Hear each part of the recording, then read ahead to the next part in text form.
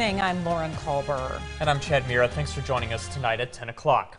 Tuesday, KX News told you the heartbreaking story of a 12 week old baby killed and her father accused of murder.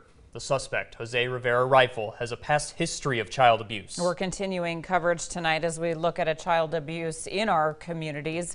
The accused, Jose Rivera Rifle, was mandated to take a parenting and nurturing class through the court system. However, he never took those classes as part of his probation process. We wanted to know more about what these parenting and nurturing classes are and how they can help the community. Constance Keller has been teaching families about parenting for 10 years.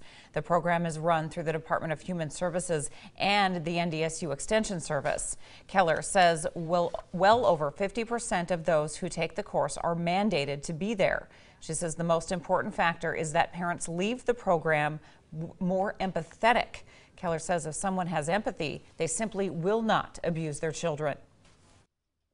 They're going to learn how to respect their children and look at their children as other human beings.